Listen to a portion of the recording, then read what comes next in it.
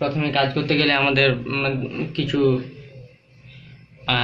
প্রয়োজনীয় ইলিমেন্টস লাগবে, তার মধ্যে মাইক্রো কন্ট্রোলার তারপর ব্রেডবোর্ড কিছু এলইডি আর কিছু জাম্পার ওয়্যার তো আপনাদেরকে আমি প্রথমে যা করতে হবে, আমাদের কম্পিউটারে প্রথমে মাইক্রো কন্ট্রোলারের সফটওয়্যারটা রান করে নিতে হবে। রান করে নেওয়ার পরে কম্পিউটারের সাথে মাইক্রো কন্ট্রোলারের সার্কিট কানেক্ট দিতে হবে।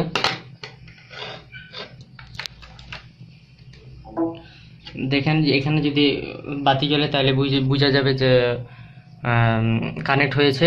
এখন আমাদের একটা প্রোগ্রামের মাধ্যমে আমি আপনাদের দেখাবো কীভাবে বাতি জ্বালানো যায় মাইক্রো কন্ট্রোলের সাহায্যে।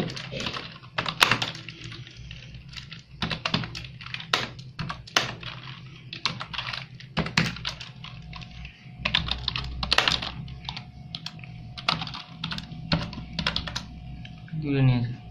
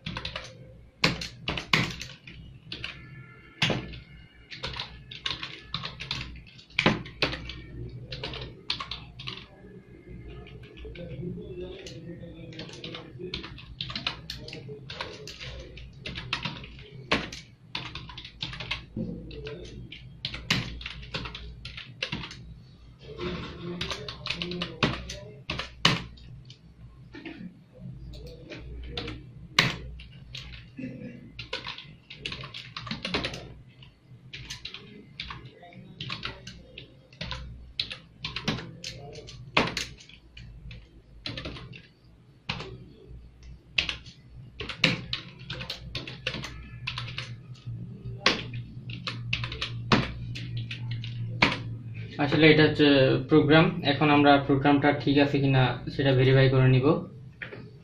এখানে একটা ভুল দেখাচ্ছে হচ্ছে এলইডি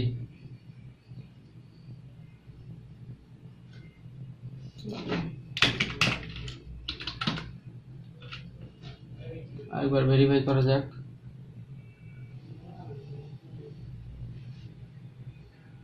হ্যাঁ।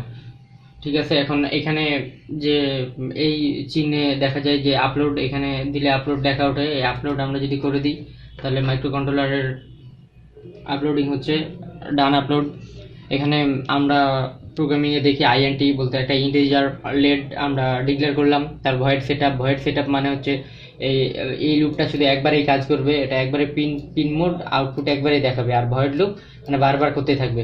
তো ডিজিটাল যেহেতু আমরা ডিজিটাল পিনগুলোর কাজ করতেছি, সেহেতু ডিজিটাল টাইট আমাদের প্রিন্ট করতে হবে, তারপরে এলইডি হাই বলতে জ্বলবে, আর ডিলে বলতে কত সেকেন্ড পর পর জ্বলবে? এক হাজার, এখানে সবকিছু ন্যানো সেকেন্ড দিয়ে বোঝানো হয়, এক হাজার মানে হচ্ছে ওয়ান সেকেন্ড পর পর জ্বলবে, আর এখানে লো বলতে কত সেকেন্ড পর বন্ধ হবে, এটা হচ্ছে এক হাজার ন্যানো সেকেন্ড বলতে এক সেকেন্ড এখন আমরা পিনগুলো কানেক্ট করব।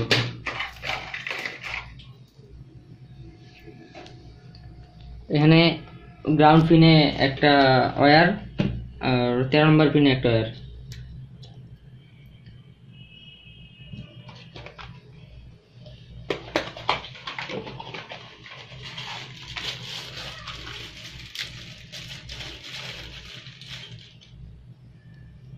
আর আমরা জানি এলইডির বড় যেই প্রান্তটা, এটা হচ্ছে প্লাস আর ছোটটা হচ্ছে মাইনাস সেভাবে আমরা গ্রাউন্ডের সাথে মাইনাস এবং তেরো নম্বর পিনের সাথে প্লাস কানেক্ট দিলাম।